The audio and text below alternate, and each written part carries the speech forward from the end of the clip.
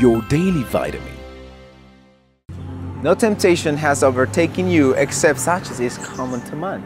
But God is faithful, who will not allow you to be tempted beyond what you are able, but with the temptation will also make the way of escape, that you may be able to bear it. 1 Corinthians 10:13. At the basis of every temptation, difficulty, trial, or situation that you may be going through is the hope that you learn something or change something. But keep in mind that God will never let you go through something that you can't withstand. The way out of that situation is easily found when you obey God and endure, clinging to His Word. Your daily vitamin.